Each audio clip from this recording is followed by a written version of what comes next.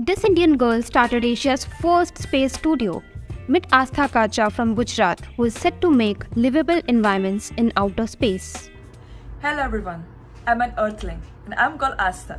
I'm an award-winning space architect, founder, CEO of Aka Space Studio based in Vancouver, Canada.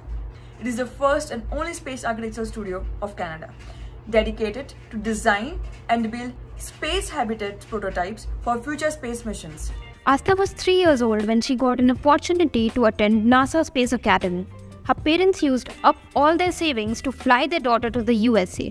She designed a lunar base as part of a competition and won. This deepened her fascination for space architecture. How do I differentiate myself from other architects? Hmm. So maybe I will call myself a space architect.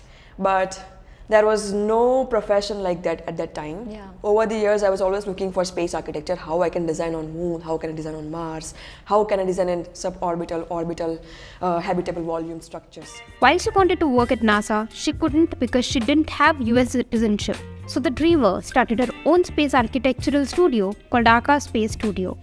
After years of extensive research, Aka made India's first Earth-based lunar analog expedition which was successfully tested at White Rann because of its similarity with the soil of Mars. A recipient of the Global Icon Award for India's youngest icon in space architecture, Astha says she's inspired by Valentina Tereshkova and Elon Musk.